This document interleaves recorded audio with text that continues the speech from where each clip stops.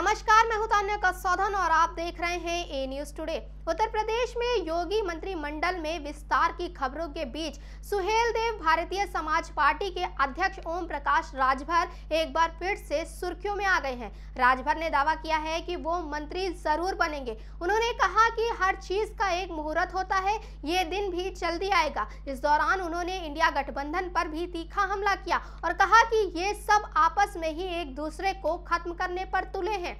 जी हाँ करीब पाँच महीने पहले ओम प्रकाश राजभर एनडीए में शामिल हो गए थे। तभी से कयास लगाया जा रहा था कि राजभर को योगी सरकार में मंत्री बनाया जा सकता है। हालाँकि ना तो अब तक यूपी में मंत्रिमंडल का विस्तार हुआ और ना ही राजभर मंत्री बन पाए।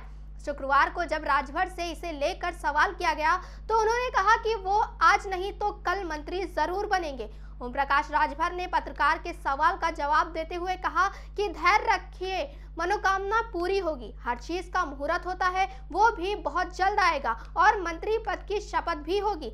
राजभर ने दावा किया है कि आज नहीं तो कल कल नहीं तो परसों मैं मंत्री ज़रूर बनूँगा। कि जब उनसे तारीख को लेकर पूछा गया तो वो इस पर बोलने से बचते नज़र आए। राजभर ने इस दौरान इंडिया गठबंधन को लेकर भी निशाना साधा और कहा कि यूपी में सपा वाले हाथी को और हाथी वाले कांग्रेस को दौड़ा रहे हैं। ये सब लोग कांग्रेस को खत्म कर रहे हैं। कांग्रेस जब खुद सत्ता में थी तो उन्होंने जातिवार जनगणना नहीं कराई थी। तब उन्होंने पिछड़ों के हक की वकालत नहीं की थी और ना ही उनका हक दिया था।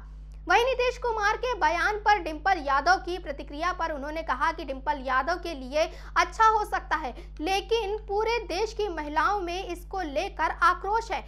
मैं नीतीश कुमार के बयान की निंदा करता हूँ, ऐसे बयानों से समाज में नफरत फैलती है। आपको बता दें कि नीतीश कुमार के महिलाओं पर आपत्तिजनक वाले बयान का डिंपल यादव ने समर्थन किया था।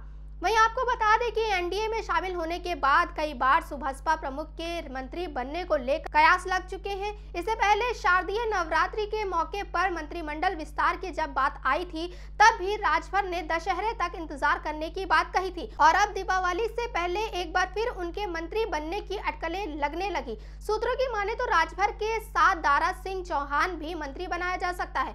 तमाम और बड़ी खबरों के लिए देखते रहिए ए न्यूज़ टुडे